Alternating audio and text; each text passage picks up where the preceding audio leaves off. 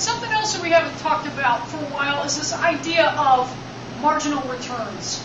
Now, with any marginal analysis, we're looking at a per unit change. So, for marginal returns, we want to look at it and go, for each additional unit of an input, ceteris paribus, meaning don't change anything else, for each additional unit of an input, how much additional output do we get? That's why it's marginal returns. You've got inputs, the returns are your output. Now, it's called the law of diminishing marginal returns. There aren't too many things in economics that are called laws. Have the law of supply, the law of demand. The law of diminishing marginal returns means this is what's going to happen. So it's a concept with which you want to be familiar, and it's going to have more relevance with microeconomics, particularly when we get into how businesses make decisions and the theory of the firm and all that good stuff. All right, now, to diminish means to become less. So we're looking at what happens over time. You keep throwing inputs at a problem, more and more units of an input, your marginal returns are going to decrease. And you think, well, eh, maybe. Here's what happens. Graphically, as we continue to add units of one input, we keep everything else constant because to really figure out what's happening with one variable, we have to isolate it. So, in terms of how you know realistic is this? Well, for example, a lot of businesses, the one thing that they can control on a daily basis is how many people they have in their workforce.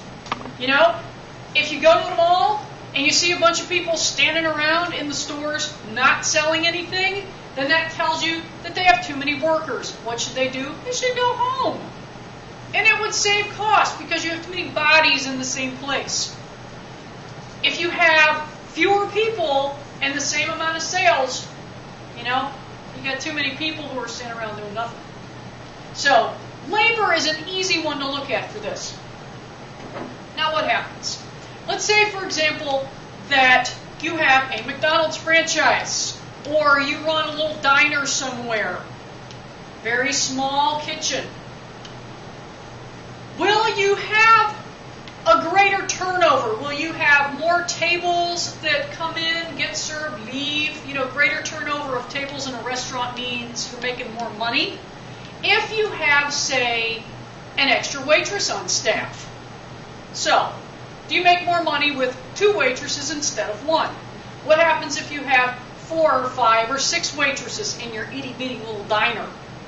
Because the diner's not getting any bigger. The one thing that you have immediate control over is how many people are standing around doing nothing or how many people are working.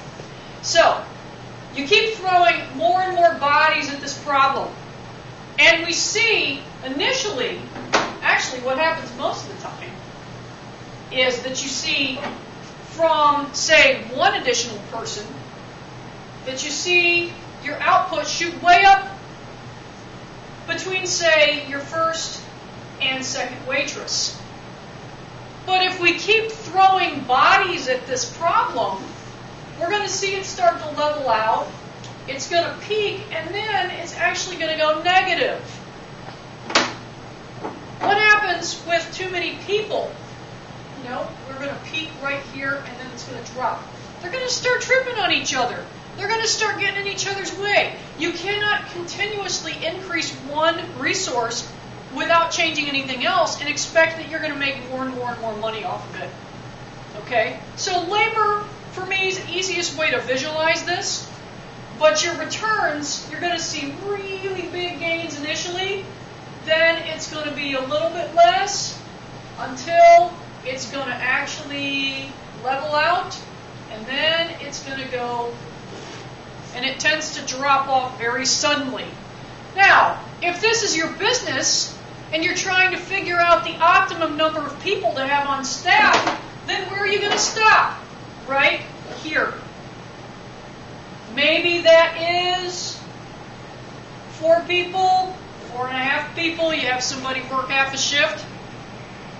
But that's how you want to figure it out.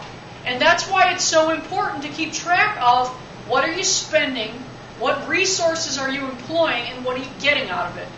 Because you don't want to be here where you're just throwing away money. That's where this is relevant.